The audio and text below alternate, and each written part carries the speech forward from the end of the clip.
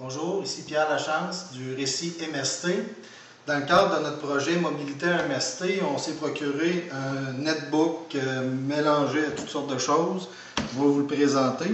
C'est euh, la marque Asus, c'est le transformeur. Euh, donc ici j'ai l'appareil entre les mains. Ça peut ressembler à nos netbooks qu'on pouvait se procurer depuis quelques années. Donc, tout simplement un ordinateur portable avec un écran 10 pouces qui, euh, pour celui-ci, roule sous Android 3.2.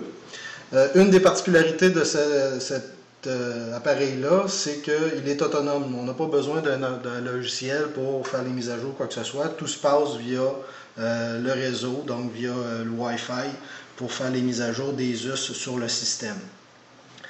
Mécaniquement parlant, donc j'ai ici un clavier qui accepte euh, des, un port USB de ce côté-là et un autre de l'autre côté. J'ai également une carte euh, SD qui va euh, pouvoir être lue ici.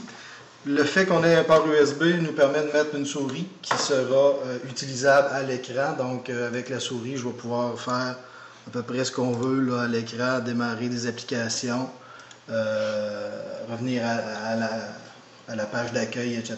Donc la souris fonctionnelle euh, est reconnue par le système.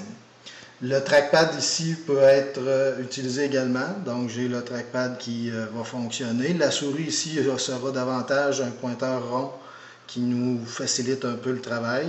On peut désactiver avec une touche de clavier ce trackpad-là. En écrivant, des fois, ça peut être quelque chose d'utile. Sur le clavier, on a des différents raccourcis. Euh, donc, ce n'est pas un clavier classique. On va avoir des raccourcis vers les, paramètres du système. On a un raccourci vers euh, la recherche, euh, la page d'accueil de notre navigateur, vers la page d'accueil de notre bureau. Donc, c'est le clavier. Une particularité du clavier, il contient également une pile. Donc, lorsque ma, tablette, parce que c'est également une tablette Asus, donc, quand je suis, branché, connecté sur le clavier, le clavier recharge la tablette, donc ça double environ la durée de vie, qui est euh, très longue. Euh, je n'ai pas encore calculé le temps, mais on annonce 16 heures, je pense, au point de vue technique euh, du côté des us. sur la tablette, une connectique, on a une part micro SD, donc on peut ajouter de la mémoire à notre appareil, une sortie HDMI pour envoyer ça sur un écran, sur une télé. Évidemment, écouteur micro et euh, le courant donc ici qui va se connecter sur notre, notre clavier.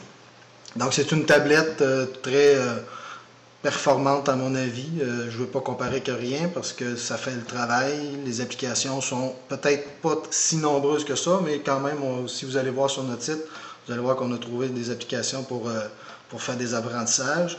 Donc c'est un, tablette, un ordinateur, je ne sais pas comment le nommer parce qu'il fait à peu près n'importe quoi, qui peut être intéressant à mettre entre les mains des élèves du fait que j'ai un clavier et qui permet de transporter l'appareil euh, de façon assez facile et sécuritaire. L'écran est assez bien caché, puis c'est pas trop gros non plus. Donc c'est le Asus Transformer, un appareil qui fonctionne très bien avec la dernière version d'Android. Asus de ce côté-là est peut-être un des champions à mettre à jour son système parce qu'on est sur la dernière version d'Android. Donc on vous tient au courant sur les appareils, cet appareil-là. Merci.